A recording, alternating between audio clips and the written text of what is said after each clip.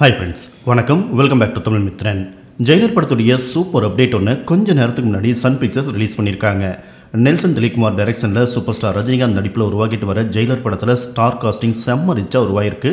நடிகர் மோகன்லால் நடிகர் ஜாக்கி சராவ் நடிகர் சிவராஜ்குமார் மற்றும் பிரியங்கா மோகன் தமன்னா ரம்யா கிருஷ்ணன் யோகி பாபு வசந்த் ரவி விநாயகன் உள்ளிட்ட பலர் முக்கியமான கேரக்டரில் நடிக்கிறாங்க அனிருத் இந்த படத்துக்கு மியூசிக் பண்ணியிருக்காரு.